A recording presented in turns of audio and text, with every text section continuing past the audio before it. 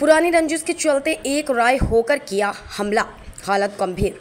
जानकारी के अनुसार बोधी थाना अंतर्गत खोड़ चौकी क्षेत्र में आने वाले ग्राम विजयपुर में रात्रि के समय घर पर बैठे मुसाब लोधी, विशाल लोधी, छोटेलाल लोधी पर शिक्षक ओम प्रकाश लोधी ने दोनों लड़कों, सुरेंद्र लोधी सूर्य प्रताप लोधी व अन्य साथियों के साथ मिलकर कुल्हाड़ी व धारधार हथियार से जानलेवा हमला कर दिया, जिससे तीन लोग गंभीर रूप से घायल हो गए। घायल लोगों में छोटेलाल लोधी की स्थिति नाजुक बनी हुई है, जिसके चलते उसे ग्वालियर रिफर किया गया है। खोड़ पुलिस के द्वारा संबंधित धाराओं में अपराध पंजीबद्ध कर विवेचना में लिया गया है। साथ ही आरोपियों की तलाश की जा रही है। क्या नाम है भैया का? कौन समाज हो? आप आपका नाम क्या है? कहाँ रहते हैं? क्या हुआ है इनको?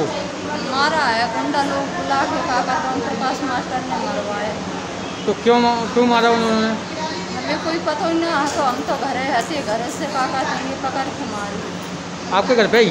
लाए थे लोहे के सरिया आते सब पर लिए जो ट्राली बदले रही से जब मुँह फट गई।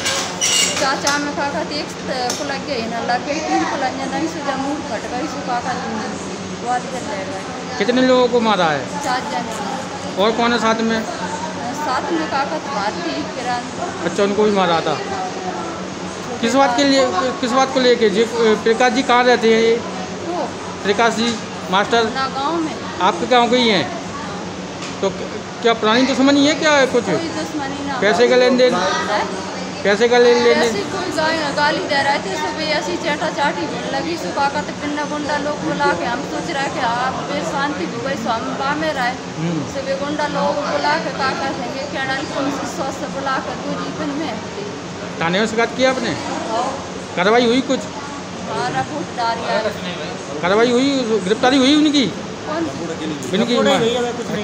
दान डाल हमने काका चौक अभी कुछ नहीं होगा बेटा।